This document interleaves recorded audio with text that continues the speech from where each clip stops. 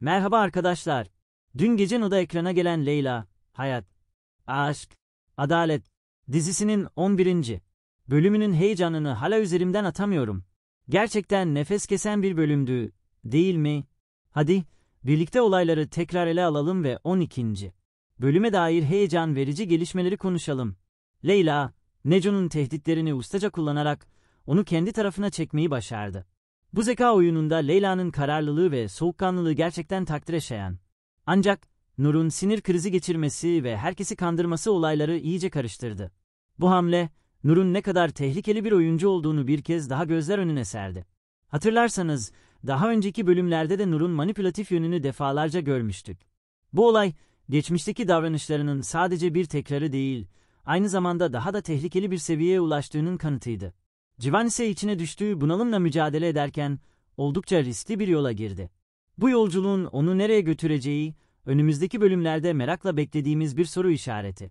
Burada, Civan'ın geçmiş deneyimlerinin ve ailevi sorunlarının bu tehlikeli kararında ne kadar etkili olduğunu düşünmek gerekiyor.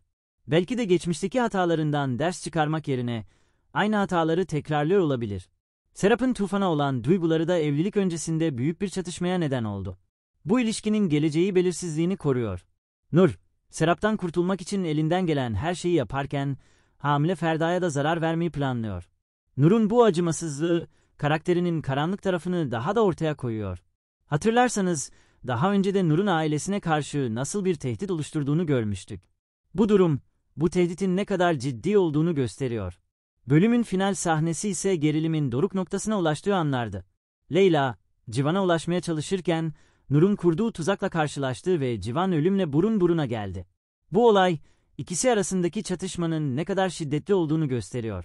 Leyla ve Nur arasındaki bu mücadele, dizinin ilerleyen bölümlerinde de devam edecek gibi görünüyor. Peki, 4 Aralık Çarşamba günü saat 20.00'da yayınlanacak olan 12. bölümde neler olacak? Fragman henüz yayınlanmadı, ancak 11.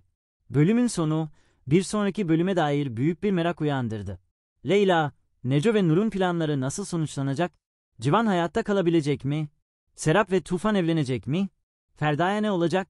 Tüm bu soruların cevabını önümüzdeki çarşamba günü öğreneceğiz.